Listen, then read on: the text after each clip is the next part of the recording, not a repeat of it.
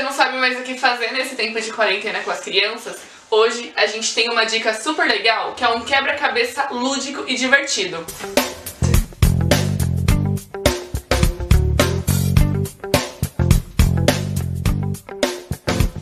Oi pessoal, eu sou a Jéssica, responsável do núcleo acessível do Museu Catavento e a minha dica de hoje é um quebra-cabeça. Vocês vão fazer esse quebra-cabeça com os materiais que geralmente a gente tem em casa ou se não é super simples de encontrar. Por exemplo, papel EVA.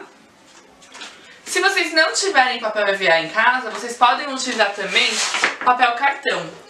Esses dois materiais, eles vão ajudar no suporte da folha que a gente vai colocar em cima. Se vocês fizerem com papel EVA, vocês precisam utilizar a cola própria para o EVA. Se vocês forem utilizar o papel cartão, a cola comum mesmo vocês conseguem fazer.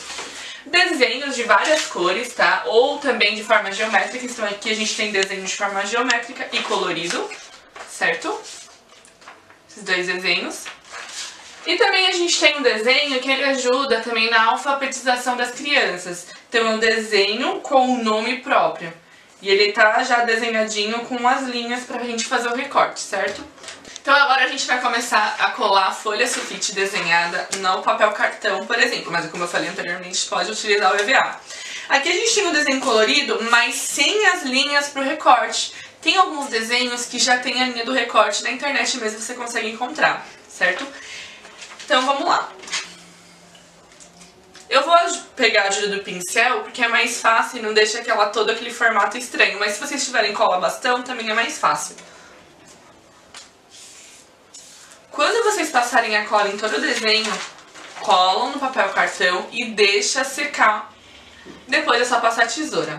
Aqui do ladinho eu tenho um exemplo já feito, certo? Como eu falei anteriormente, ele é bem didático por ter essas letras separadas. E esse já tem um exemplo do corte. Pega a tesoura e pode começar a recortar. Essa atividade, pessoal, ajuda nas crianças para desenvolver a parte motora, além também de auxiliar no foco.